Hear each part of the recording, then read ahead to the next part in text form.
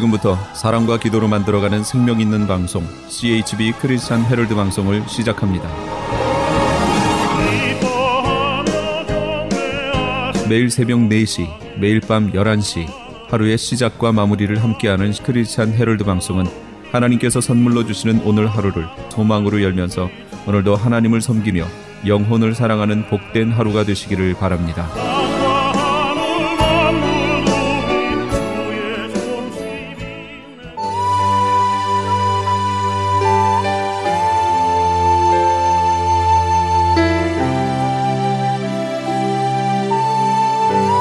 이 새벽을 주님과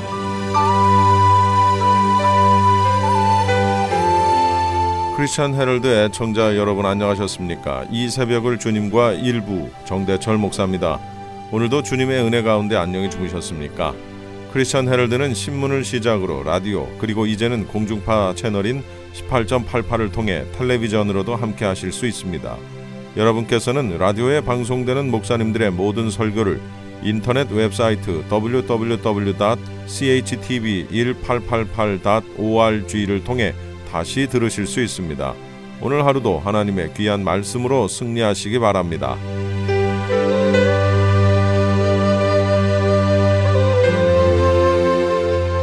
네, 오늘은 헤럴드 초대석으로 여러분과 함께 만납니다. 월간 낮은 울타리의 대표이신 신상원 선교사님과의 인터뷰입니다. 네, 헤럴드 초대석입니다. 정말 오랜만에 또 이렇게 헤럴드 초대석으로 만나 뵙게 되겠네요. 자, 오늘은요, 여러분 가운데 혹시 뭐 아실 분들 많이 계실 겁니다. 낮은 울타, 리라고 여러분 혹시 들어보셨습니까? 에, 낮은 울타리의 대표이신 신상언 선교사님, 오늘 또 이렇게 스튜디오에 나오셨습니다. 인사부터 하죠. 안녕하십니까? 안녕하세요. 반갑습니다. 아유, 이렇게 또 여기까지 오셔서 인터뷰도 해주시고 감사합니다. 감사합니다. 네. 낮은 울타리. 예, 저도 이제 한국에 살 때 낮은 울타리 책자도 많이 보고 낮은 울타리 얘기 많이 들었어요. 이 낮은 울타리 사역하신 지 꽤 오래되셨죠? 28년째 들어갑니다. 28년째? 네네. 아, 그러니까 제가 청년 때니까. 예, 야 굉장히 오래 하셨네. 어, 낮은 울타리가 이제 주로 문서 선교 뭐 이런 쪽으로만 기억을 좀 하는데 주로 어떤 사역을 하셨었나요 그 동안에? 처음에 시작할 때 문화 사역으로 시작을 했죠. 네. 그러니까 제가 온누리교회 다니면서 청년들을 지도하고 있었는데 네. 그때 그 유명한 New Kids on the Block이 한국에 왔어요. 아, 예, 예, 예. 네, 한국의 최초의 아이돌 가수 그룹이었죠. 네. 네. 그 그룹이 와서 공연하다가 한 명이 깔려 죽었습니다. 맞아요, 맞아요. 네. 기억나요. 예. 그걸 보고 제가 마음이 아파서 음. 제가 지도하는 교회 청년들에게 말을 했더니 청년들이 반응이 굉장히 강했어요. 음. 그러면서 자기들도 그랬다. 그러면서 뭔가 심상치 않은 일이 일어나고 있다. 그래서 문화를 공부해야 된다. 음. 그래서 문화를 가르쳐 달라. 그래서 청년 중에 한 명이 우리 문화를 가르쳐 주세요. 라고 시작을 한 거죠. 네. 그러니까 저는 사실 처음부터 이런 사역을 하려고 했던 게 아니고 CCC 활동을 하면서 해외 선교사, 음. 어, CCC 사역의 그 방향이 해외 선교였거든요. 네. 민족 복음화와 해외 선교였는데 대학생들 네. 사역이었잖아요. 그죠? 제가 제가 대학에 들어가자마자 CCC에 가입을 해서 네. CCC에서 자라면서 이제 순장이 되고 어 그러면서 김준곤 목사님이 음. 예, 해외 선교사로 가라. 네. 그래서 이제 그 길만이 제가 가는 길인 줄 알고 아프리카 선교사로 지원했었죠. 네. 그래서 아프리카에 가서 죽으려고 했는데 갑자기 또 온누리 교회에서 하 목사님이 저를 또 오라고 그러셔서 음. 어, 가게 됐죠. 어, 초대받아 갔는데 가서 청년들을 지도하던 중에 이 사건이 일어난 것입니다. 네. 어, 그 New Kids on the Block은 저도 몰랐어요. 저도 꽤 그래도 팝송이나 뭐 많이 듣고 그랬는데 생전 알지도 못했던 애들이 한국을 찾아왔고 한국의 청소년들이 반응을 했고 공연하다가 깔려주고 하는 이 과정 속에서 뭔가 심상치 않은 일이 일어나고 있구나. 음. 근데 그것들을 이제 동기부여한 게 교회 청년들이었어요. 네. 그래서 그 친구들하고 이제 문화 공부를 하면서 문화 사역이란 말을 쓰게 됐고 그리고 여기저기 강의를 다니면서 문화 사역에 시작이 됐다. 문화 사역에 불이 붙었다. 그 낮은 울타리 하면은 많은 분들이 문화 사역, 문화 선교 음. 이걸로 기억하고 계시죠? 그렇죠. 저도 그렇죠. 네. 그런데 이제 그 이후에 또 하나님이 문화가 중요한 게 아니고 사람이 중요한 것이다. 문화는 그냥 도구일 뿐이고 문화라고 하는 것이 결국 왜 문제가 되냐면 그 문화를 다루는 사람이 문제가 아니냐. 그리고 문화 소비를 할 때도 문화 소비자가 문제가 아니냐. 네. 그 문화 생산자든 소비자든 사람이 문제다. 그래서 사람에게 관심을 갖기 시작하고 결국은 문화를 소비하는 주 계층이 N세대. 저는 청소년이란 말을 쓰지 않고 N세대란 말을 쓰거든요. 네. 그 N세대들을 집중해서 이제 사역을 하게 된 것이죠. 네. 그러면서 또 N세대 문제가 또 뭐가 문제냐 봤더니 가정이 문제더라고요. 음. 그런 문제가 있는 아이들 뒤에는 문제가 있는 부모가 있다. 그래서 결국은 또 가정사역을 하게 됐죠. 네. 그러니까 점차적으로 이게 확대가 됐는데 어, 문화 사역에서 어, N세대 사역으로 N세대 사역에서 가정사역으로 음. 뭐 지금은 저희가 어, 사역 방향이 크게 세 가지입니다. 네. 가정의 회복, N세대 부흥, 문화의 회복 음. 이렇게 세 가지 방향으로 사역을 하고 있습니다. 어떻게 보면은 그 뭐 세 가지라고 숫자를 딱 한정을 하셨습니다만 그게 다 한 것 같은데요. 다죠. 다죠. 세 가지가 아니라 다 한 것 같아요. 다죠. 가정이 회복이 되면은 네. 뭐 교회도 회복이 될 것이고 그 다음에 N 세대가 건강해지면 가정이 건강해지고 사회가 건강해질 것이고 음. 문화가 회복이 되면 결국 세상 정신이 하나님의 정신, 하나님의 나라의 정신으로 바뀐다는 얘기니까 네. 어떻게 보면 다죠. 교회에서 설교 음. 듣고 뭐 성경 공부도 하고 그런 거 가지고는 안 돼. 아니요, 그걸 저는 그거를 이제 텍스트 중심의 음. 사역이라고 보거든요. 네. 그러니까 이제 많은 사람들이 자기가 속해 있는 영역을 몰라요. 음. 근데 우리는 교회와 세상이라는 두 개의 긴장 관계에 있는 다른 영역을 살고 있거든요. 네. 그러니까 교회와 세상, 복음과 상황, 텍스트와 context. 그러니까 이 두 개의 다른 영역을 잘 구별이 안 돼요. 네. 어, 보통 그냥 세상에서 죄를 짓고 돌아온 탕자들, 세상은 악하나 우리들은 순결하게 이렇게 듣다 보니까 막연하게 저쪽 어딘가에 세상이 있구나라고 생각하는데 사실은 우리가 동시에 두 세계를 살고 있는 거거든요. 네. 교회도 세상 안에 있으니까 교회와 세상이 사실은 분리된 게 아니에요. 근데 개념적으로 분리하자니까 그렇게 되는 거죠. 음. 그러면은 교회와 세상, 복음과 상황, 텍스트와 context에 분명히 긴장 관계가 있어요. 네. 그래서 그 긴장 관계를 잘못 이제 이해하거나 음. 긴장 관계에서 자기가 잘못 살게 되면 영적으로 데미지를 입는 거잖아요. 네. 그런데 이제 문제는 이 세상을 바라보는 관점이 여러 가지가 있어요. 분리적 관점이라든가 뭐 아니면 혼합적 관점이라든가 상대주의적 관점이라든가 여러 가지가 있는데 결국은 이제 우리가 이제 그 세상을 변화시킨다라고 할 때 어떻게 변화시키냐 어느 영역을 변화시키냐 이 개념이 모호한 경우가 많죠. 좋은 리더, 좋은 지도자를 만난다는 게 참 중요한 것 같아요. 아, 중요합니다. 그런 의미 정말 중요합니다. 우리 저 신상원 대표님, 신상원 선교사님이 하시는 사역이 참 정말 그뭐 어떤 교회 하나를 부흥시킨다거나 이거하고 비교할 수가 없을 것 같은데요. 그건 좀 뭐, 다른 뭐 좀 다른 차원이고요. 예. 저는 주로 이제 교회 안에서 어떻게 살 것이냐보다는 음. 세상에 들어가서 어떻게 살 것이냐. 다시 말해서 교회에서 훈련을 잘 받고 음. 세상을 변화시키는 것을 상황화 또는 contextualization이라고 하거든요. 네. 그러니까 context가 바뀌는 것을 contextualization 말하자면 하나님의 계시를 그 시대의 언어와 문화로 잘 전달하려는 자세. 음. 그 결과 세상이 하나님의 나라가 되는 것, 하나님의 음. 통치 영역에 들어가는 것. 이게 결국은 저희 사역의 궁극적인 목표예요.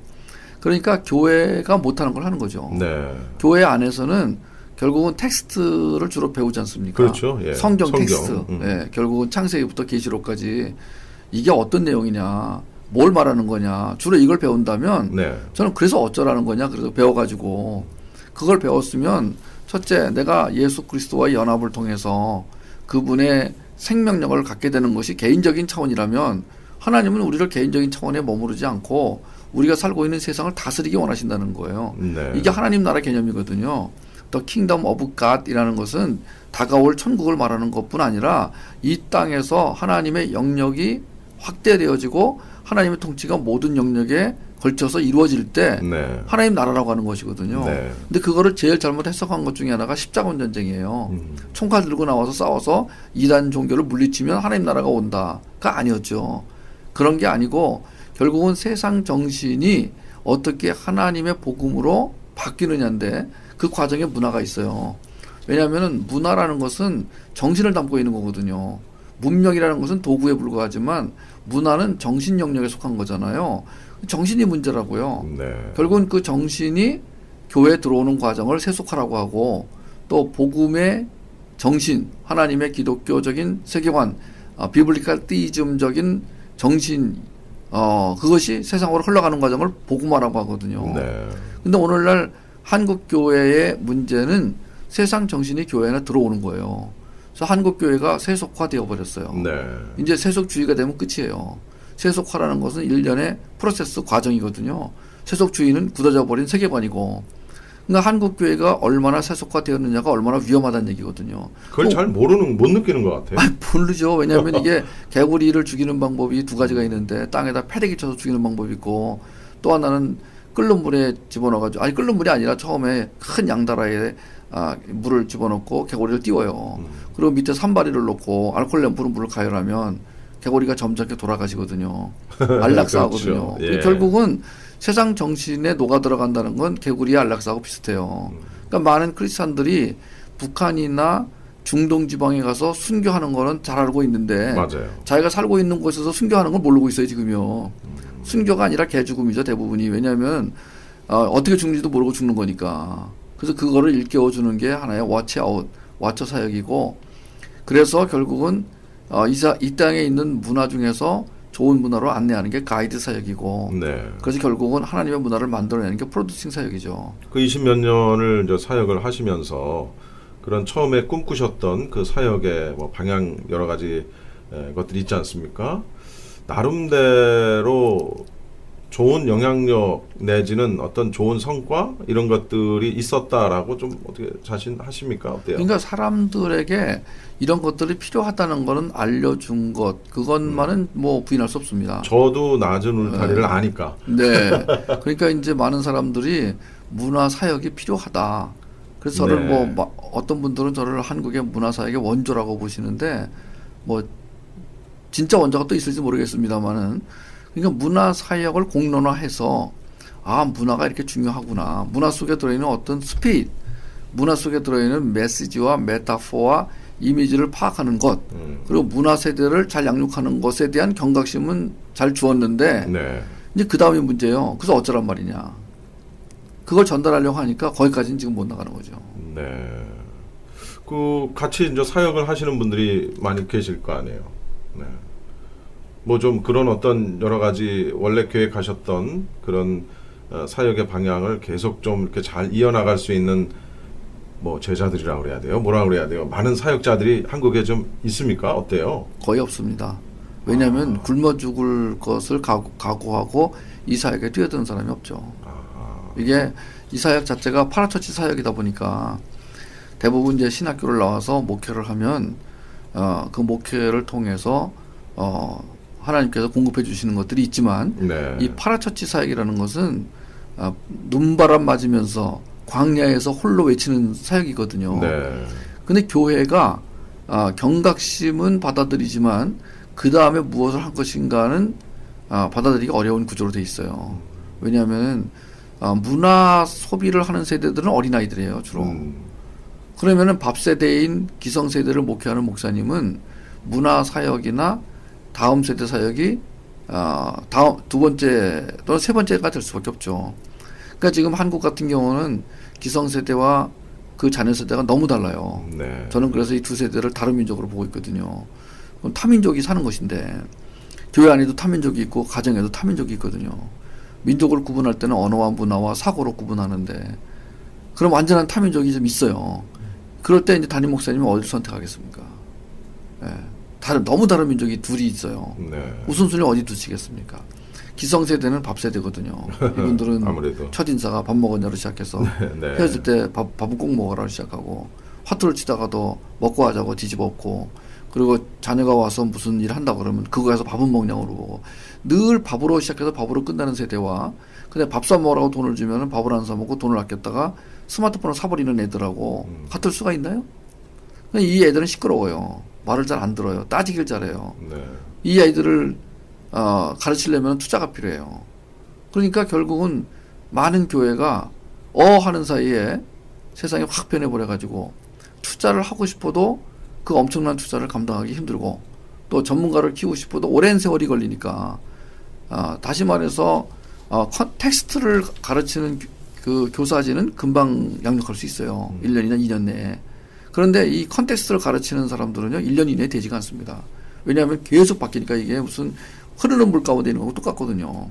말하자면 텍스트 교육은 고여있는 물에서 사는 것이라면 이 context는 흐르는 물이에요. 그러니까 어저께 것이 이미 오늘 것이 아니에요. 그러니까 이렇게 변화무쌍한 예, 한 예를 들면은 지금 한국은 지금 제5 혁명 시대까지 들어갔는데 예, 1차 산업혁명이 그 전기기관의 발명이고 2차 산업혁명이 어, 전기기기의 발명이고 3차 산업혁명이 컴퓨터 발명이고 4차 산업혁명이 그 사물 인터넷 등장이고 5차 산업혁명이 AI 인공지능까지 갔거든요 지금요. 네, 네. 이 변화는 상상할 수가 없어요. 기성세대가 못 따라가요. 용어도 못 알아들어요. 네. 제가 교회 가서 virtual reality 그러면 못 알아들어요. 지금 벌써 전 세계가 지금 VR 열풍이 불고 있는데도 맞아요.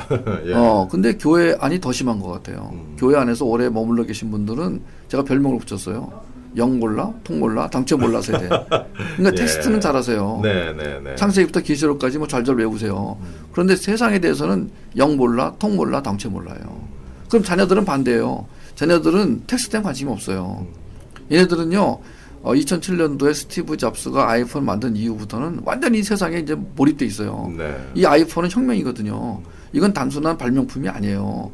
그런데 이렇게 변화된 세상 속에서 살아가는 아이들을 국제시장 영화 본 사람이 함흥부도 흥남부도 얘기하고 있으니 음. 이 아이를 어떻게 이해를 하고 어떻게 네. 받아들이겠어요. 더군다나 이민 사회는 70년대 이민 온 사람들은 70년대 사고 방식으로 굳어져 버렸고 맞습니다. 90년대 이민 온 사람들은 90년대 굳어져 버렸단 말이에요. 이게 또 언어적인 차이가 또 있어서요. 네. 이거 아주 더 이 저 갭이 벌어지는 것 같아요. 그러니까 한국은 지금 뭐 90년대는 아주 호랑이 담배 피던 시절이거든요. 그렇죠. 근데 이민 사회 와 보니까 90년대 이민 온 분들이 큰 소리 치고 계시더라고요. 네. 그럼 뭐가 문제냐? 자녀와의 문제가 생겨요. 음. 소통의 문제거든요.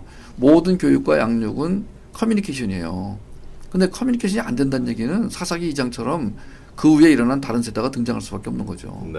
그게 가장 위험한 겁니다. 그러니까 이런 얘기를 아무리 해도 이해는 하는데 그 다음 팔로우를 하려니까 네. 이걸 따라갈 돈과 재정이 없어요. 네. 저희가 있냐? 저희도 없어요.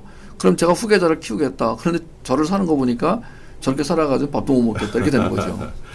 예. 참 귀한 사역을 지금 하시는데 이런 어떤 그 특히 이제 뭐 N세대라고 말씀을 하셨는데 청소년들 N세대들에게 참 많은 꿈을 또 희망을 또 소망을 어떤 세상을 바라볼 수 있는 눈을 어, 이렇게 열어 주시려고 굉장히 많이 애를 쓰셨고 근래에는 근래는 이제 어떤 그 교회 안에서 어떤 뭐 기성 세대들도 그렇고 그 어떤 뭐 상처랄까 이런 쪽에 또또 아, 또 많은 어떤 그 사역의 중점이 이렇게 좀 가고 있는 것 같아요. 맞습니까? 네, 제가 N 세대를 사역을 하다 보니까 이 아이들의 마음밭이 점점 딱딱해져 가는 거예요. 어, 분노가 많고, 네. 예, 그래서 분노를 조절하지 못한 충동 장애도 많고, 또 분노를 대체물로 풀려고 하다가 대, 중독에 빠진 경우도 많고, 그리고 뭐 자살도 뭐 한국은 엄청나고, 음. 예, 미국 같은 경우는 뭐 총독으로 나와서 쏘고, 맞아요. 제가 이제 이 세대를 향해서 부름 받았는데 결국은 이제 어, 다음 세대 부흥을 위해서 부름 받았는데 그러면 이 세대를 사역을 하다 보니까 이 뭐가 문제인가 봤더니요 이 아이들이 마음을 뺏겨요 음. 마음을 금방 뺏겨요 교회 왔다가도 뭐 순간적으로 그냥 마음을 뺏겨요 그럼 이 마음을 뺏기는 원인이 뭔가 봤더니요 마음 마치 딱딱해요 네. 마음이 아주 딱딱해져 있어요 마음이 상해 있거나 마음이 악해져 있거나 마음이 더러워져 있어요 근데 이 마음을 상하게 하는 사람이 누군가 봤더니 1순위가 부모더라고요. 아하. 예. 그러니까 우리가 마음이 상했다 또는 감정이 상했다. 그럼 그걸 상처라고 부르는데 상처의 원인 제공자가 그런 사람들을 이제 전문적으로 권위자라고 불러요. 오서리티라고 부르는데 이 권위자들 중에 첫 번째 권위자가 부모입니다. 근데 부모님들은 또 본인들은 그렇게 생각 안 하죠. 절대로 안 하죠. 네. 내가 저놈 때문에 이민 왔고 저놈에게 줄 거 다 줬는데 뭐가 문제냐 이렇게 생각하죠. 내가 누구 때문에 이 고생인데. 그죠? 예. 그런데 사실은 상처는 준 사람한테 물어봐야 소용없어요. 받은 사람한테 물어봐야죠. 그러니까 결국은 이제 이 N세대들 안에 상처가 많다. 근데 이 상처는 마음밭을 딱딱하게 만든다. 마음밭이 딱딱하면 씨가 자라지 않는다. 신앙을 뺏기기 쉽다. 결국은 교회를 떠난다. 이 악순환이 되풀이되는 거죠. 그래서 회복 사역이 필요한 겁니다. 그러니까 문화 사역보다 더 시급한 게 뭔가 봤더니 회복 사역인 거예요. 결국은 컬티베이팅하는 마음밭을 경작하는 사역이 필요한 거예요. 근데 그것이 심리학이나 상담학이 아니라 가장 복음적으로 하는 사역이 뭐냐. 아, 그 부분에 있어서 저희가 감사한 것은 그 사역을 저에게 주셨다는 거죠. 하나님이. 그 뭡니까? 이름을 흠스라고 합니다. 흠스. 네, HMMS. 예. Home Mission Ministry School의 약자죠. 아하. 처음에는 어, Healing of Media Holic Ministry School이었는데 이제 Media Holic의 차원을 벗어나서 이제 전방위적으로 이 아이들이 큰 아픔을 가지고 있는 저는 N세대가 아프다. 아파서 울고 있다. 어, 어떤 애는 아파서 죽으려고 한다. 이걸 전제로 합니다. 그래서 이제 이 방송을 듣는 분 중에서 아, 우리 애는 하나도 안 아픈데 다시 살펴보세요. 그리고 부모가 살피면은 못 볼 수가 있어요. 네. 제 3자가 살펴봐야 됩니다. 왜냐하면 이제 특히 착한 아이 증후군을 가진 애들 중에는 절대로 부모 앞에서 아픈 척을 안 하거든요. 위장을 합니다. 왜냐하면 네. 그 아픈 걸 드러내면 둘 중에 하나가 돼요. 의도맞거나 아니면은 어, 부모가 뭐가 문제냐 도대체 너는 이렇게 짜증을 내니까 아픈 척을 안 하는 거죠. 네. 그러면 가정에서는 아픈 척을 안 하지만 나가면 다 드러나게 돼 있습니다. 그래서 아픈 사람들이 하는 일 중에 크게 두 가지가 하나는 도피하는 것이고 하나는 공격, 공격하는 것이죠. 그래서 수동성 사람과 공격성 사람으로 나눠지는 것입니다. 네. 아이고 뭐 시간이 뭐 벌써 많이 갔는데요. 그 어, 지금 미국에 지금 한 몇 주 동안 지금 와 계시는 거죠? 네, 그렇습니다. 네, 주로 어떻게 뭐 교회 다니시면서 평신도들 대상으로 하시나요? 아니면 여기서도 뭐 청소년들 대상으로 하시나요? 저는 청소년 대상은 거의 안 합니다. 왜냐하면 네. 미국은 특히 뭐 청소년들을 저한테 맡기는 교회도 거의 없습니다. 영어를 못 한다고. 음. 사실은 뭐 통역이 있으면 얼마든지 할 수 있어요. 물론이죠. 왜냐하면 네. 중간 매개체가 문화다 보니까 더군다나 글로벌 문화는 다 애들이 이해를 하거든요. 네. 근데 저 자신이 이제 아, 지금 청소년을 만날 때가 아니다. N세대 만날 때가 아니다. 왜냐하면 N세대를 그렇게 만드는 원인 제공자가 부모다. 음. 그럼 부모한테 가서 지금 당신이 문제예요. 이렇게 말했을 때 부모가 그래요? 이렇게만 되면 되거든요. 네. 그러니까 말하자면 제가 N세대를 사역을 해서 N세대가 건강해졌다 하더라도 집에 가면 다 무너져요. 왜냐하면 또 상처를 받으면은 음. 어, 그게 악화되는 거예요. 그러니까 결국은 부모들한테 가서 당신이 문제 제공자입니다를 잘 얘기하는 거예요. 네. 그것도 간접적으로 예화를 들어가면서 그럼 상당수의 부모들이 알아들으세요. 네. 전 여기에 소망이 있다고 생각을 합니다. 네, 오늘은 지금 제가 나주늘타리의 신상원 선교사님, 신상원 대표님과 함께 어, 말씀을 나누고 있습니다. 그 정기적으로 이제 월간 낮은 울타리가 지금도 물론 발행이 되죠. 네, 27년 동안 단 한 달도 빠지지 않고 네. 월간지가 발행이 되었습니다. 여기서도 볼 수 있습니까? 네, 미국에서도 지금 여기 찬양 사역자인 이윤수 목사님이 네. 지금 배포를 하고 있습니다. 그러니까 정기적으로 책이 월간으로 나옵니까? 네, 여기도? 그렇습니다. 어허. 그 이제 정기 이제 낮은 울타리 월간 책 외에 그 밖에 우리 이제 신상언 대표님 선교사님께서 쓰신 그 좋은 책들이 굉장히 많더라고요. 좀 뭐 몇 권을 좀 잠깐 소개를 하신다면? 저는 지금 이제 직면이란 책을 직면 소개하고 싶습니다. 직면 네. 어. Encounter. 우리가 어떤 문제에 직면해야 한다 할 때 하는 그 직면. 아니요, 그건 con, 아닌가요? 그건 confrontation입니다. 네. 그러니까 상담에서 말하는 직면은 confrontation입니다. Breakthrough 해라. 문제를 피하지 말아라. 바로 봐라 봐라. 예. 예. 근데 그건 아닙니다. 저는 모든 문제는 지성소에서만 해결된다. 아하. 오직 예수 그리스도만 문제를 해결할 수 있다. 거기서 직면하라. 예, 그 주님을 대면하는 것. 음. 대면이 원래 맞죠. 대면. 대면. 음. 대면은 우리가 이제 Coram Deo라고 하죠. 하나님 앞에 나가는 것. 네. 그분을 만나는 것. face to face 하나님을 만나는 것. 근데 그 네. 하나님을 직접 만나는 곳은 지성소밖에 없습니다. 그렇죠. 예. 그래서 그 대면이라는 용어를 쓰면 더 이해가 빠른데 어, 대면보다 직면을 택한 이유는 직면이냐 도피냐 폭발이냐 음. 예, 이거를 설명하려고 음. 그게 이제 어디서 나온 거냐면 브루스 탐슨의 하나님의 다림줄 사역에서 나온 개념이거든요. 네. 그러니까 이제 어, 모든 인간은 어, 상처를 받으면 직면을 택하든지 도피를 택하든지 음. 폭발을 택한다. 네. 근데 우리는 직면해야 산다. 살고 싶으면 직면해라 이렇게 되는 거죠. 네. 직면이라 제목이 직면. 네, 직면. 네, 두자. 네. 그책 어, 여기 그 미주 지역의 서점에서도 판매가 됩니까? 아니요, 서점에 안 해놓고 있습니다. 어, 좀 미주 서점에도 좀 공급 좀 하시지. 그러면 너무 어, 이익이 없어서 네. 그 책을 통해서 저희 간사들의 사례비를 만들어야 되는데 네. 그렇게 되면은 뭐 거의 어, 이익이 남지가 않습니다. 그러면 예를 들어서 직면이라는 책을 사실 여기 이제 뭐 서점에 가서 책이 없으면 주문을 하면 되긴 돼요. 네. 네, 서점에서 이제 없는 책들을 이제 주문을 해서 어, 그렇게 하기도 하지만 또 이 미주 지역 뭐 지부자 지부라고 그래야 되나요? 그 있습니까? 나주울타리 지부 역할을 그 이은수 목사님이 하고. 이은수 목사님. 네. 어. 너는 내 아들이다 작곡한 그 이은수 목사님. 찬양사역자. 네, 음. 지부 역할을 하고 있으니까 네. 그분에게 문의하시면 얼마든지 구할 수 있습니다. 그러면은 전화번호를 좀 안내를 해드려도 되겠습니까? 네. 네, 이은수 목사님께 전화를 하시면은 되고요.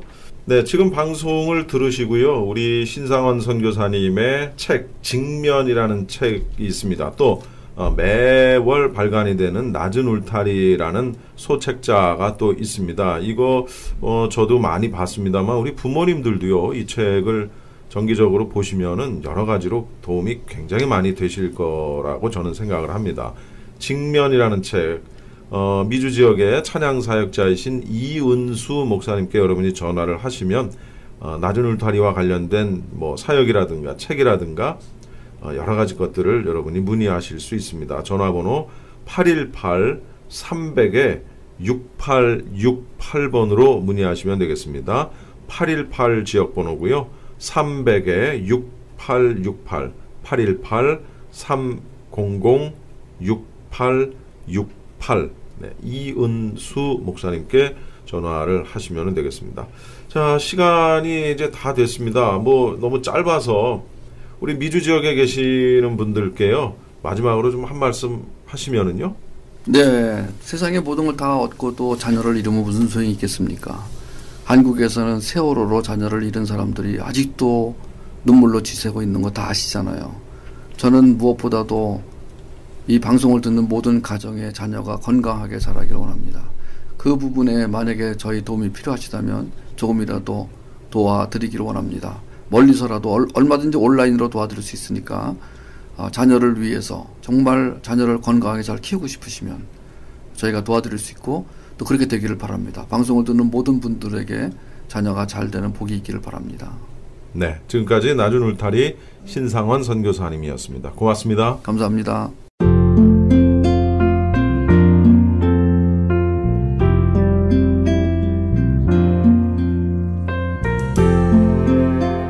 이어서 주님의 영광교회 신승훈 목사님께서 고린도 후서 1장 3절로 10절까지를 본문으로 하나님은 왜 환난을 허락하시는가라는 제목의 설교 말씀해 주시겠습니다.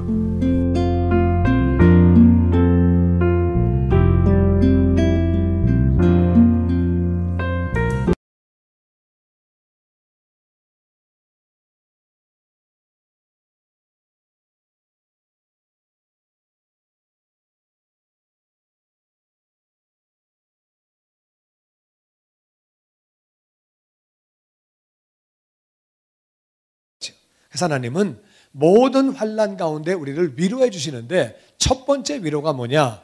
하나님을 알지 못하던 심령들이 다 같이 하나님을 믿음으로 하나님을 만남으로 우리 인생에서 가장 큰 위로가 뭐냐? 하나님을 만나는 것이 죄인이 하나님을 믿는 것이 가장 큰 위로인 줄로 믿습니다. 그 이상의 위로는 없다 그 말이에요. 죄악 가운데 살다가 지옥 갈 영혼이 어려움 가운데 환란 가운데 하나님을 만나면 그게 제일 큰 위로고 두 번째는 그럼 하나님을 믿었는데 왜 또 그럼 어려움이 있느냐? 하나님을 어려움 믿는 가운데도 하나님은 우리에게 어떤 때는 어려움을 주세요. 어려움을 주시는데 하나님이 어떤 환란이 있더라도 있더라도 우리를 다 같이 위로해 주시고 모든 환란 중에서 우리를 위로하신다는 거예요. 모든 환란이 뭐예요? 모든 환란은 모든 환란이에요. 그러니까 이제 어떤 환란이라도 위로하신다 그 말이에요. 그러니까 이제 위로가 뭐냐? 하나님을 알지 못하는 자는 하나님을 만나면 그게 첫 번째 가장 큰 위로죠. 할렐루야. 그러니까 하나님을 아는 사람은 뭐가 위로예요? 아들아, 딸아, 내가 너를 너무너무 사랑한다. 근데 네가 좀 잘못하는 게 있어. 그러니까 내가 너를 지금 때리는 거야. 너를 야단치는 거야. 그러면 우리가 내가 잘못된 걸 알고 내 잘못 때문에 하나님이 나를 때리시면 내가 그 참 감사하지요. 정말 감사하지. 내가 잘못 가고 있는데 아버지 엄마가 나를 안 때리신다. 그건 좀 문제가 있는 거죠. 내가 막 가고 있는데 싫은 소리도 안 하고 뭐 뭐뭐 그냥 그러고 그냥 두면은요. 그러면 그건 뭐 그래? 그 아버지가 나를 사랑하지 않는 거지요. 그러니까 내가 잘못 갈 때 얻어맞는 게 사랑인데 그때 하나님이 위로해 주시는 거예요. 아들아, 네가 잘못했기 때문에 내가 너를 때린 거야. 그리고 끌어안아 주시니까 위로를 받는 거죠. 할렐루야. 어떤 때는요, 너는 잘못한 건 없어. 그런데 내가 너를 훈련시켜서, 너를 연단시켜서 내가 너를 사용하려고 그래. 그러니까 이제 운동 선수가 아, 막 열심히 하는 것은 감독이 우리 금메달 바라보자. 어, 너 훈련 받을 때는 힘들어. 힘들지만은 금메달 바라보고 나가는 거야. 우리가 1등 바라보고 나가는 거야. 그러면 우리가 훈련 때 힘들어도 1등 바라보고 막 나가는 거죠. 하, 힘들고 막 그냥 지치지만은 어, 높은 걸 바라보고 나가는 거죠. 할렐루야. 하나님이 내가 너를 연단해서 사용하려고 그래. 너는 사명이 있거든. 내가 너를 사용하려고 그래. 그럼 위로를 주시면은 우리가 어려움 가운데도 힘이 난다 그 말이에요. 할렐루야. 모든 환란 가운데 우리를 위로해 주신다는 거예요. 아멘. 그래서 우리로 하여금 하나님께 받는 위로. 우리가 어려운 가운데 하나님께 위로를 받는 거죠. 그래서 하나님을 믿지 않는 자는 이 위로를 통해서 하나님을 만나게 되고 내가 너를 너무너무 사랑해서 예수 그리스도를 보내주었다. 예수가 너를 위해서 대신 죽고 장사한 지 사흘 만에 부활했다. 이거를 가르쳐 주심으로 우리가 예수님을 믿게 되고 구원받는 게 가장 큰 위로고 그 다음에 위로는 내가 너를 사랑해서 징계하는 거란다. 얼마나 감사해요. 아, 날 사랑해서 때렸구나. 정말 지금은 어렸을 때는 부모님이 야단치시는 걸 잘 몰랐는데 나이 먹고 나서 보니까 아 그게 하나님 정말 부모님의 사랑이구나 너무너무 감사하잖아요. 정말 감사하고 어, 감사하고 어, 그, 내 아는 사람이 이제 그 어, 입양을 했는데 미국에서 입양을 했는데 자기는 입양이 됐는데 아버지가 자기를 안 때리더래. 근데 자기가 낳은 애는 잘못하면 막 때리더래. 그러니까 자기는 그 얻어맞는 게 너무 부러웠대요. 그래가지고 잘못하면 때려야지 왜 나는 안 때리냐. 그래가지고 아버지한테 그랬대요. 아버지, 나는 왜 안 때리십니까? 어, 너는 입양에 와서 너무 불쌍해서 못 때린다. 근데 내가 잘못되면 때리셔야지요. 어, 그래, 근데 잘못하면 어, 그래, 내가 어떻게 때리니 너를? 너 너무 불쌍한데 거기다 때리까지. 아, 그래 잘못되면 때려야죠. 어? 내가 불쌍해서 안 때린 거야. 어. 아, 그래도 잘못되면 때려야지 왜 안 때리십니까? 아, 이 자식이 그만해, 이제. 아버지 왜 나를 안 때리십니까? 그렇게. 그게 뭡니까? 그러니까 이 자식이 너 그러다 맞아. 때리시면 때려보세요. 때리세요. 탁 맞고 나서 얘가, 아, 감사하다. 나 맞았다, 오늘. 야 아버지 나를 사랑하신다. 어. 얻어맞고 너무 좋은 거야. 너무 감사한 거야. 하나님이 나를 때리시면 나를 사랑해서 때리시면 너무 감사하죠. 때린 다음에 안아주시고 할렐루야. 정말 감사하지요. 그리고 나를 연단시키시는 거 다 너무 감사한데 우리는 그런 위로를 받은 다음에 그 하나님께 받는 위로를 가지고서 모든 환란 중에 있는 자들을 능히 위로하게 하시려고 어렵지요. 내가 어려움이 있었거든요. 나도 몸이 아팠거든요. 나도 아파봐서 알아요. 너무 힘들지요. 근데 내가 이 아픔 가운데서 하나님의 음성을 들었어요. 내가 위로를 받았거든요. 당신도 하나님의 음성 듣고 위로받기를 원합니다. 내가 몸이 아파서 정말 너무 힘들었어요. 내가요, 재정적으로 너무 어려웠거든요. 진짜 먹고 살 돈이 없고요. 라면 살 돈이 없었어요. 너무 불쌍했거든요. 그 나는 어려운 사람의 처지를 알아요. 너무 힘들죠. 어, 그리고 우리가 그들을 위로하는 거죠. 그러면 그들 가운데는 어, 하나님을 만나게 돼서 구원받는 사람도 생기고 또 하나님을 믿은 사람도 아, 이 사람은 정말 어, 이 사람이 어떤 때는요. 그 어려움 가운데서 헤어나와서 구원을 받아서 나를 위로할 수도 있고 아직 어려움 가운데 있지만 그 사람을 위로할 수 있지요. 나는 아직 어려움 가운데 있지만 하나님의 위로를 받으면은 하나님의 위로를 받은 다음에는 내가 지금 어려움 가운데 있고 없고 그건 중요하지 않아요.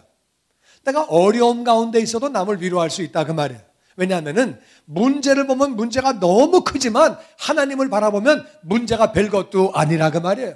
그러니까 이제 문제를 바라보는 게 아니라 하나님을 바라보니까 똑같은 문제 가운데 있는 사람을 위로하는 거예요.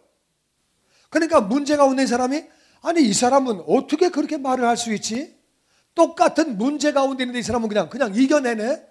그래가지고 이 사람은 위로를 받는 거고 이 사람이 그 문제 가운데 있다가 해결을 받았으면은 또 해결 받은 것 때문에 어 정말 예수 잘 믿으면 해결 받나? 나도 따라가 봐야 되겠네. 그래 위로를 받는 거예요. 할렐루야. 그래서 우리에게 그렇게 아, 하나님이 아, 그 하나님께 받는 위로를 가지고서 모든 환란 중에 있는 사람을 위로하라고 그렇게 하시는 하나님이시기 때문에 우리는 하나님을 찬양해야 되는 줄로 믿습니다.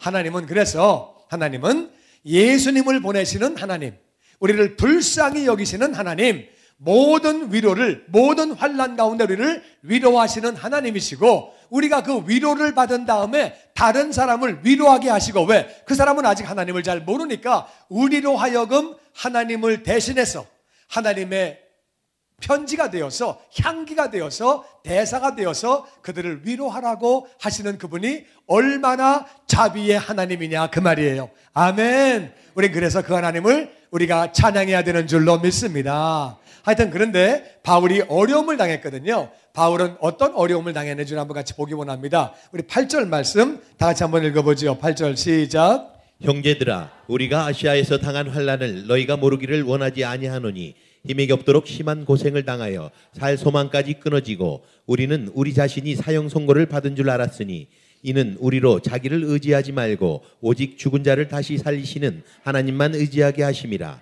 그가 이같이 큰 사망에서 우리를 건지셨고 또 건지실 것이며 이후에도 건지시기를 그에게 바라노라. 아멘. 사도 바울이요 아시아에서 어려움을 당했어요. 아, 사도 바울은 아시아에 있다가 아, 유럽에 건너가서 사역을 했거든요. 또 아시아에서 사역을 하고 왔다 갔다 사역을 했는데 아시아에서 어려움을 많이 겪었어요. 물론 유럽 가서도 어려움을 겪었지만은 아시아에서 어려움을 당했는데 얼마나 어려웠느냐? 우리가 당한 환란을 너희가 모르기를 원하지 않는다. 반드시 알아라 그 말이에요. 너무너무 어려웠다. 힘에 겹도록 내 힘으로는 더 이상 아이고 아이고 아이고 이건 뭐 도저히 못하겠다. 그래가지고 힘에 지나도록 심한 고생을 했다. 그래서 살 소망이 끊어지고 아 이러다가 죽는 거구나. 살 소망이 끊어지고 우리는 우리가 사형 선고 받은 줄 알았다. 아 데려가시려고 그러는 거구나. 끝나는 거구나. 내 인생 끝나는 거구나. 이렇게 알았다는 거예요. 아, 그렇게 했는데 이 바울은 어떤 어려움을 당했느냐? 바울은요 예수님을 전했거든요.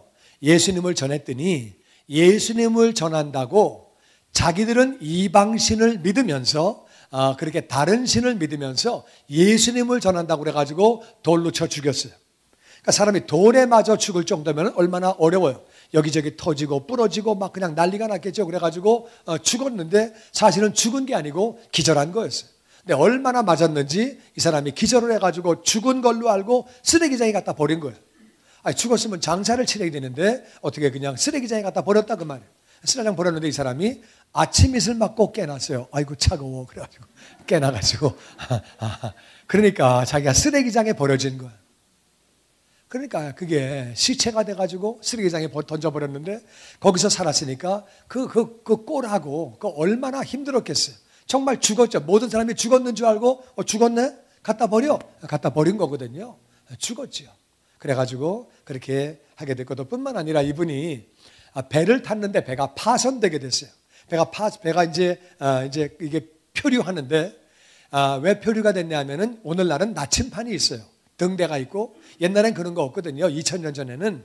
그 별을 보고 가거나, 달을 보고 가거나, 해를 보고 가야 되는데, 구름이 빡 껴가지고, 해가 안 보이고, 별이 안 보이고, 달이 안 보이는 거예요. 그러면은, 어디로 가는지를 모릅니다. 그렇게 14일을 배가 그냥 이렇게 표류한 거예요.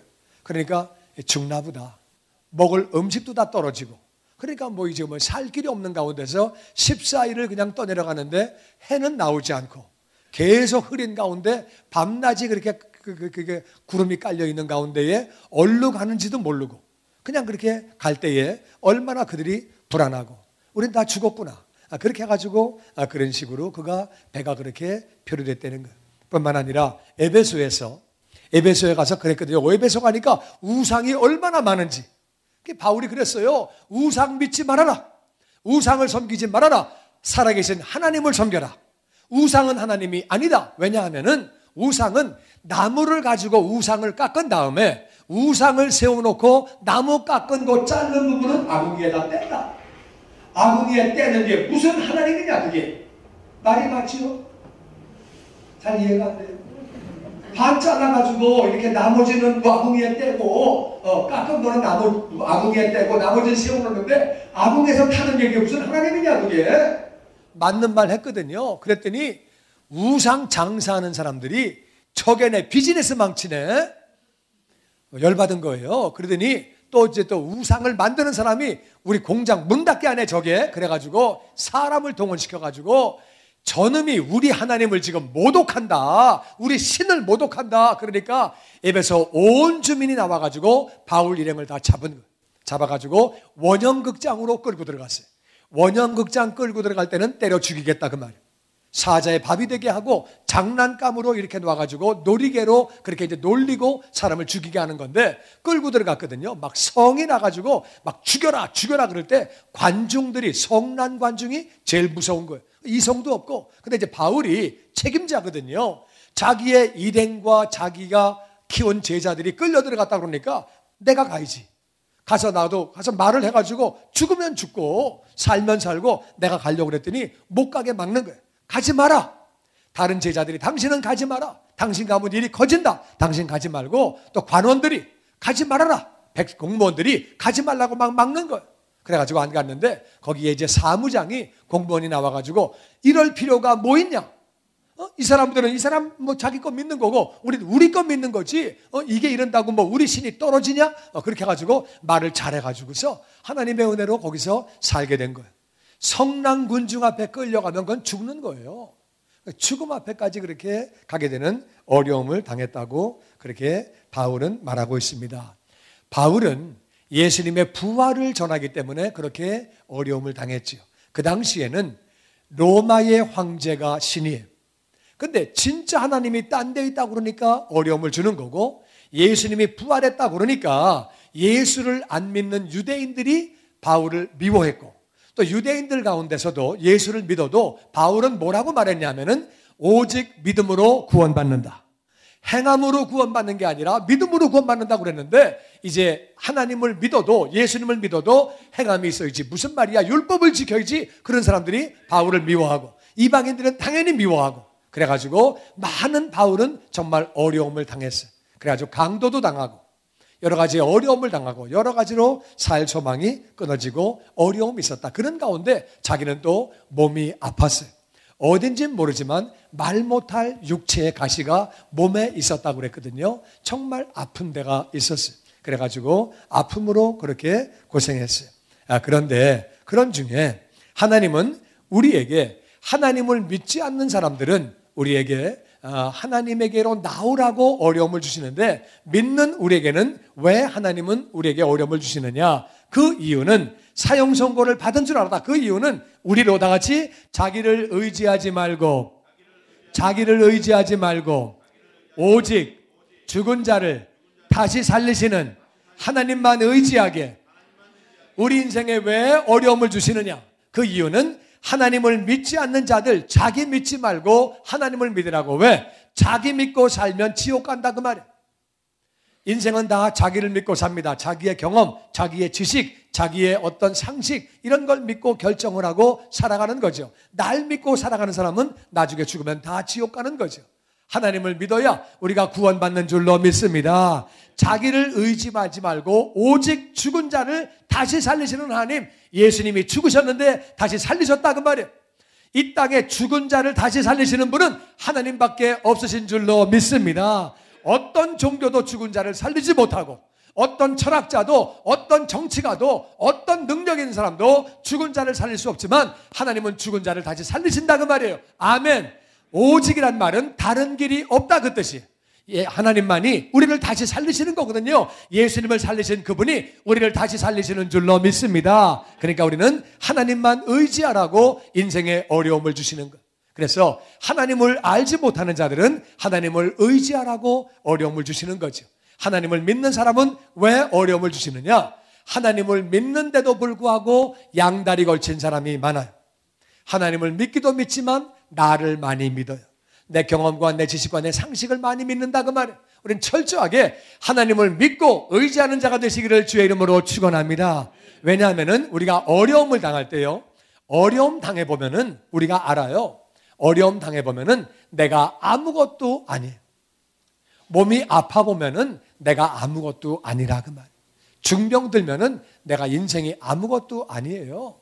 남을 빚보증 섰거나 사업이 어려워지거나 내가 파산하게 되면은 내가 아무것도 아니라 그 말. 굉장히 능력이 많은 줄 알았는데 내가 별거 아니라 그 말이에요. 맞습니까? 우리가 자식이 엄청나게 어려움을 주면 우리가 깨닫게 돼요. 내가 정말 아무것도 아니구나. 우린 여러 가지로 여러 가지로 우리가 어려움을 겪을 때 환란을 당할 때 나를 의지할 수 없지요. 아, 뭐 우리 몸이 안 아파도 3일만 금식해도 내가 별거 아닌 거 안다 그 말이에요. 3일만 금식해도 어, 얼마나 힘들어요.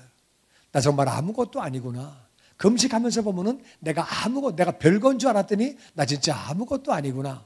아멘. 그래서 어려움을 왜 주시느냐? 나를 믿지 말고 하나님을 믿으라고. 할렐루야. 하나님을 믿으면 구원받고 하나님을 믿으면 하나님을 기쁘시게 하고 우리는 구원도 믿음으로 이루어지는 것이고 성화도 믿음으로 이루어지는 것이고 헌신도 믿음으로 이루어지는 것이고 우리 사역의 열매도 믿음으로 이루어지는 것이고 믿음으로 영광을 돌리지요. 할렐루야. 주님 말씀하시기를 믿으면 영광을 보리라. 하나님을 믿으면 우리가 영광을 보는 거예요. 아멘.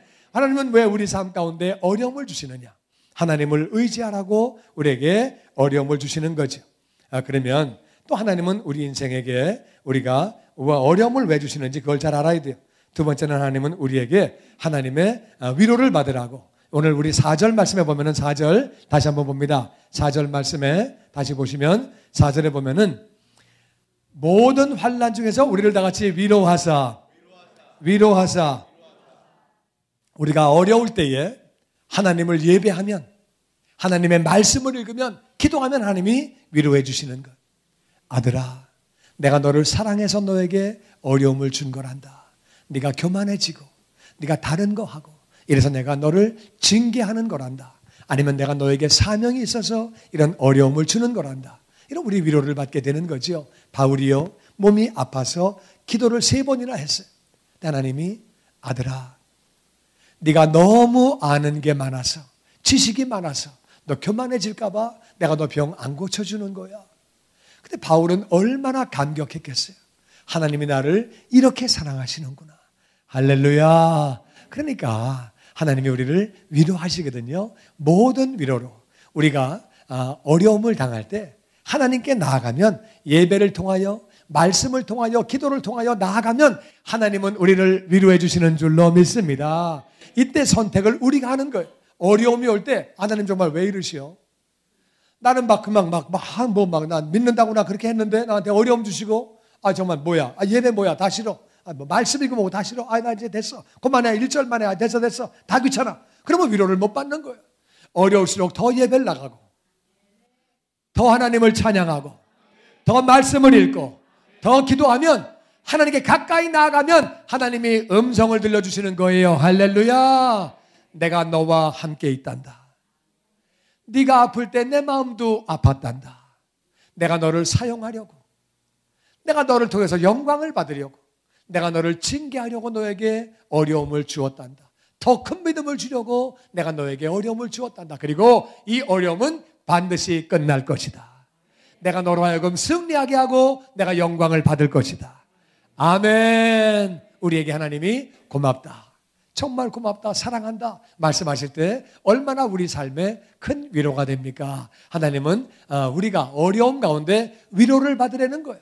나는 저와 여러분이 환란 가운데 하나님을 믿는 것뿐만 아니라 위로하는 자가 되시기를 주의 이름으로 축원합니다. 그리고 위로로 끝나는 것이 아니라 우리는 어려움 가운데서 한 걸음 더 나아가서 다른 사람을 위로하는 거죠. 어려움을 당한 사람은 다른 사람을 위로할 수 있는 거예요. 왜? 내가 겪어봤기 때문에. 내가 겪지 않은 사람은요, 그 사람 찾아가서 어렵죠? 그러면 그 사람이 당신은 내 마음 몰라요. 그러면 할 말이 없는 거죠. 내가 경험한 사람이 너무 어렵지요? 나도 겪었거든요. 근데요, 하나님 바라보고 우리 승리합시다. 같은 어려움을 겪은 사람은 그 사람의 손만 잡아주고 어깨만 잡아도 그 사람이 느끼는 거예요, 그냥. 정말 이 사람이 내 아픔을 같이 느껴주는구나. 마음에 감동이 오니까 엄청난 위로를 받는 거죠. 우리가 어려움을 주시는 이유는 그 어려움을 극복하라고 어, 어려움은요 환란은 극복하면 재산이 되는 것.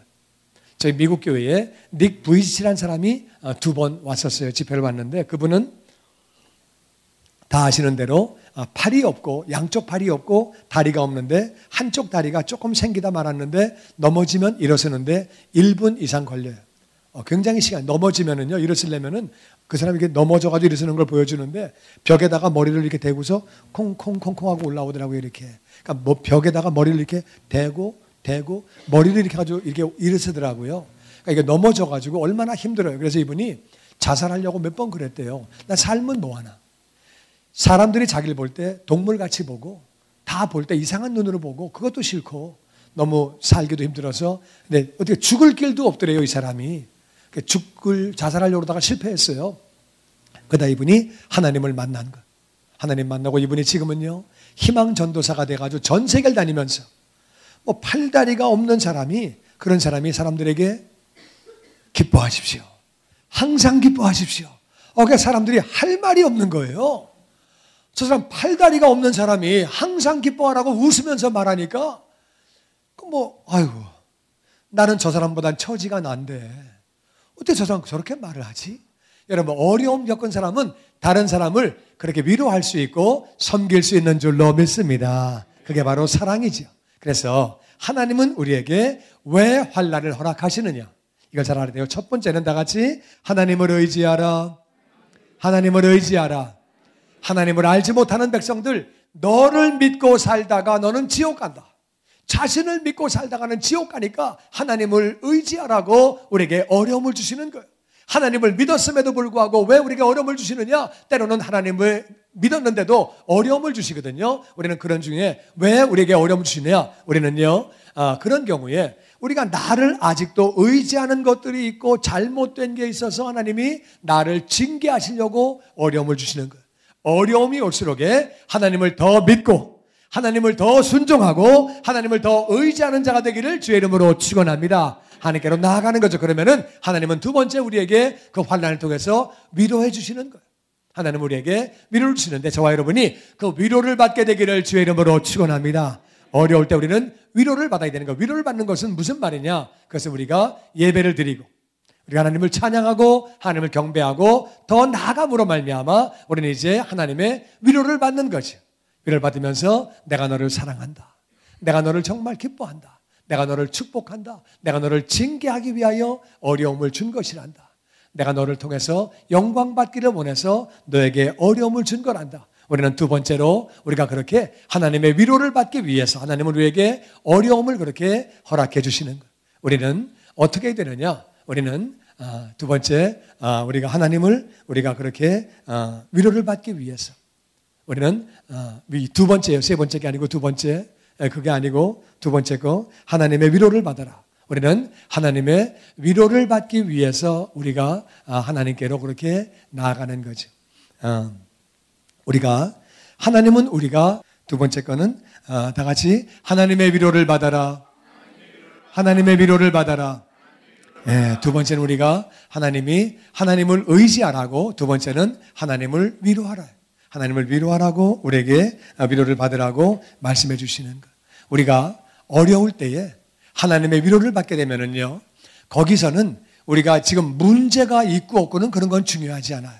그거는 문제를 보지 않고 하나님을 바라볼 때에 문제가 있어도 그게 별로 그렇게 큰 문제가 되지 않고 어, 그리고 우리가 어, 하나님을 어, 의지하고 나아가면서 하나님의 위로를 받게 되면은 어, 그때는 어려움이 있어도 그거는 뭐 하나님을 바라보니까 큰 게 아니고 그리고 하나님을 믿고 믿음으로 나아가면 하나님이 우리를 그 문제 가운데서 구원해 주시고 문제가 있다 할지라도 위로를 받은 다음에는 그게 문제가 되는 게 아니거든요. 그래서 하나님은 두 번째에 어려움 가운데 반드시 위로를 받으려는 거예요. 나는 저와 여러분이 어려움 가운데에 위로받는 자녀가 되시기를 주의 이름으로 축원합니다. 주님의 영광교회 예배 장소와 시간을 알려드리겠습니다. 주일 예배와 금요 예배는 Glory Vision Center에서 수요일에는 Hope Center에서 예배를 드리고 있으며 장소는 1801 South Grand Avenue 워싱턴과 그랜드가 만나는 코너에 위치하고 있습니다. 주일 예배는 일부 전통 예배로 오전 8시, 2부 예배는 영광 예배로 오전 10시 30분에 각각 예배를 드리고 있으며 3부 예배는 20대와 30대 청년들이 모여서 오후 1시에 젊음 예배로 예배를 드리고 있습니다.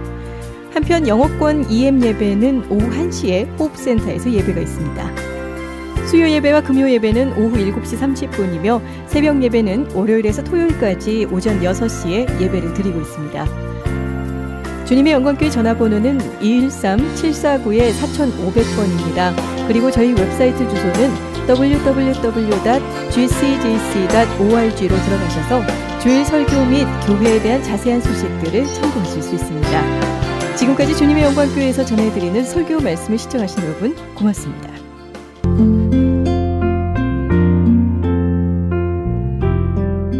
미주 한인 교계 영감을 만들어 배포했던 크리스천 헤럴드가 이번에는 미주 한인 교계 지도자 임명 사전을 만듭니다. 미주 한인 교계 지도자 임명 사전은 목사를 비롯한 선교사, 장로 그리고 각종 기관의 기관장들의 인적 사항을 담은 한인 교계 임명록으로서 미주 한인 성도들은 물론 우리의 후손들에게도 아름다운 유산으로 남겨질 것입니다. 미주 한인 교계 연감에 이은 이번 미주 한인 교계 지도자 임명 사전은 명예나 자랑이 아닌 힘들고 어렵게 쌓아올린 수고와 땀의 결정체들이 헛되지 않도록 기록물로 남기려고 하는 의도에서 기획됐습니다. 올 연말 출판 계획을 갖고 있사오니 한인 교계 지도자들의 많은 참여를 바랍니다. 미주 한인 교계 지도자 임명 사정과 관련된 자세한 문의는 크리스천 헤럴드 213-353-0777 213-353-0777번으로 하시기 바랍니다.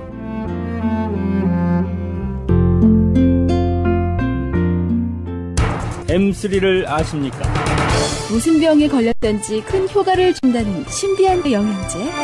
혈액에 영양을 공급하여 힘이 생기니까 피곤하지 않고 이제는 지팡이 없이 걸을 수 있다고 많은 분들이 간증을 합니다. 혈액 해독, 기력 회복, 뼈 골수 영양 공급, 심장, 뇌, 혈전 용해. 유태인 회사가 제조한 특수 영양제 M3. 혈액 순환을 잘 되게 하는 최고급 영양제. M3. 크던 작던 아픈 곳이 있다면 M3. 213-435-9600, 213-435-9600번입니다. 정직한 마음으로 권해드립니다. 내게 주어진 하루를 감사합니다. 내게 또 하루를 허락하심을 이 하루도 헛되이 보내지 않으며 살기 원합니다. 이런 은총 받을 만한 자격 없지만 주의 인자하심 힘입음으로 이 하루도 내게 주어졌음 인하여 감사드립니다. 이 하루도 정직하게 하소서. 이 하루도 친절하게 하소서. 내가 만